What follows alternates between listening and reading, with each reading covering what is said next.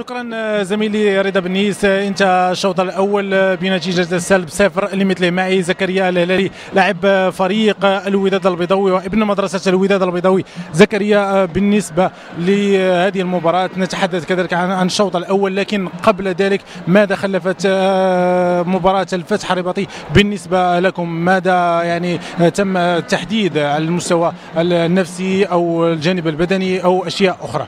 فاي فريق كيكون خارج من الخسارة فكتكون عليه ضغوط من الجمهور ضغوط من المكتب مسير فالمدرب كارزيتو اصر على الجانب النفسي وأنه يعطي فرصة للاعبين بأنه يخرجوا من هذا الضغط هذا.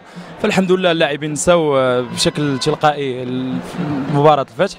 فدخلوا في مباراة المغرب فاسي. فالحمد لله كما كيشوف الجميع الحمد لله. كانت فرص ضائعة من فريق الوداد البيضاوي. كنا قراب من التسجيل. الحمد لله كنا غاديين غادي نوصلوا البوطو شي ثلاثة ولا أربعة المرات. فهذا مبشر بالخير وإن شاء الله في الشوط الثاني نكونوا أحسن إن شاء الله. أتحدث عن إعطاء شار إشارة إيجابية بالنسبة لهذا المدرب كذلك بالنسبة للاعبين الشباب أبناء المدرسة لأن لابد أن نرى لاعبين من من أبناء الفريق.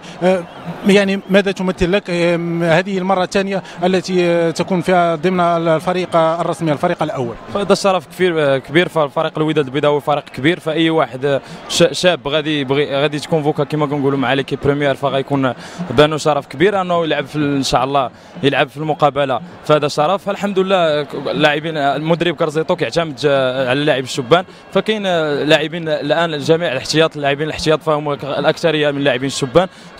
فهذا بيبشر بالخير وفريق الوداد البيضاوي عنده شبان يعني يقدروا يعتمدوا عليه في l'équipe première إن شاء الله. هذا هو المراد. شكرا زكريا الهلالي. اذا كما نقول لأن رسالة زكريا الهلالي واضحة بكل المعنى لجميع الفرق الوطنية. لابد أن نعطي الكلمة كذلك للشبان مرة أخرى. زميلي رضا بنيس إليك الكلمة والبلاطو التحليلي.